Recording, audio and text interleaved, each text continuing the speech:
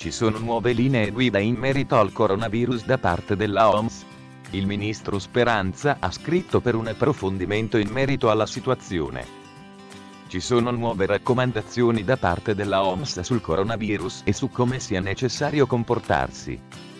Le nuove raccomandazioni della OMS, come si evince anche da Tecom24, ci sono nuove raccomandazioni da parte della OMS per la gestione della pandemia. Secondo le nuove istruzioni non sono necessari due tamponi negativi a distanza di 24 ore con guarigione clinica e bastano tre giorni senza alcun sintomo. La OMS ha specificato. Ci sono quindi dei nuovi criteri per i pazienti che devono essere dimessi a seguito dell'isolamento senza dover ripetere il test.